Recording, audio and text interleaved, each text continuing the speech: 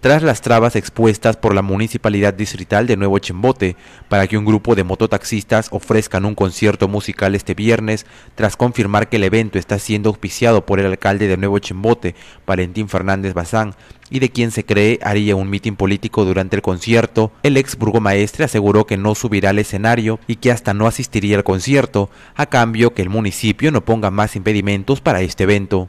Yo creo que aquí hay un temor yo pienso que la democracia y la política no es un delito, al contrario es para todos.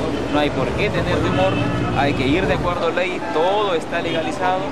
Y si, y repito, si el alcalde tiene temor de que yo esté presente, no voy, o no me presento, o no subo al escenario.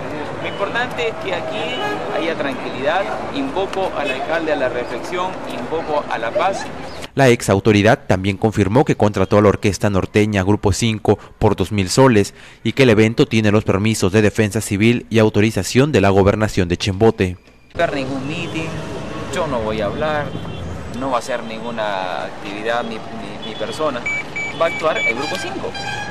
El Grupo 5 está garantizada su presencia porque la gobernación de Chimbote, viendo la legalidad, primero Defensa Civil de la región en Huaraz ha hecho las inspecciones técnicas y ha aprobado este, este, este concierto.